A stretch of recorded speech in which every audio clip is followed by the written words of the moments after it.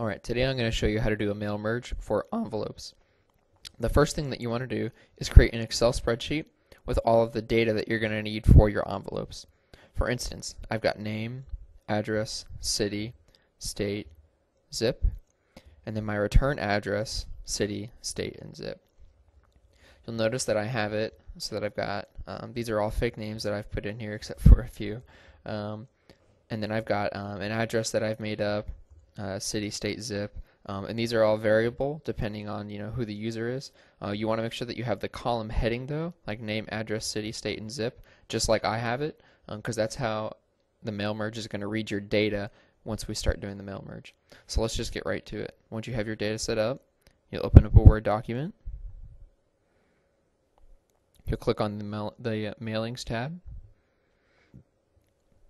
You'll go to Start Mail Merge, and you'll select envelopes.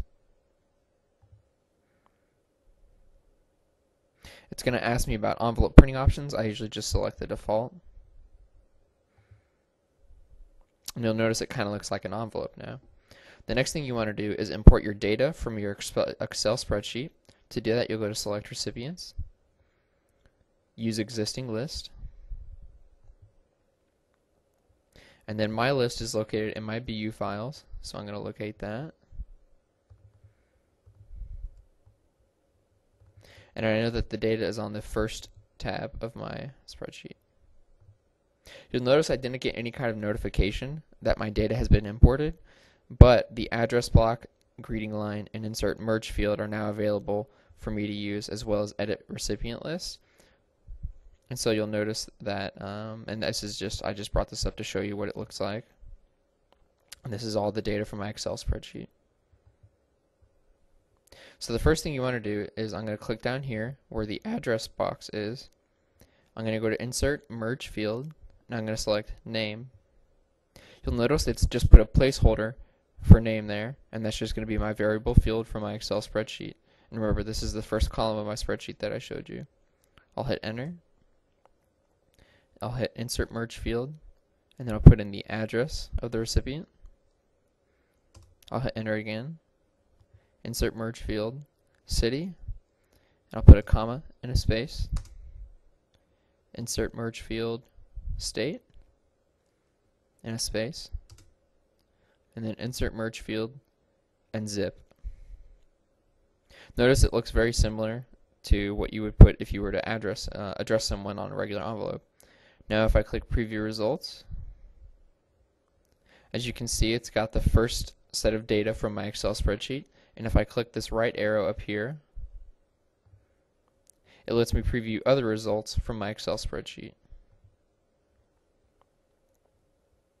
So I'm going to go back to the first ones and I'm going to unclick preview results. So again, you can notice it's just it just has the placeholders for name, address, city, state, and zip. Now I need to put in my return address, so I'm going to select in the upper left hand corner. I'm going to put insert merge field and return address. And then the same thing, return city, return state, and the return zip code. And then again, if I click preview results, you'll see it has my return address up there. And of course, the return address isn't going to change no matter which record I put, but I at least want to check them to make sure that they're all correct, and which they are. So I'm satisfied with my results, so now it's time to actually print them. So to do that, you're going to go to Finish and Merge and then print documents. And then you're going to print all of them. And then it's going to bring up uh, what printer you want to send it to. I don't currently have a printer installed where I would print envelopes, but if I did, I would select it from my list of printers. And usually I just go with what the default options are. The one thing you want to make sure is that when you print them, that it is set so that your printer will print on the envelopes face up, because that is the default option for printing envelopes when doing a mail merge in Microsoft Word. Once you're satisfied with all of your settings, you'll click OK, and it will go ahead and print your envelopes. And that's how you do a mail merge for envelopes.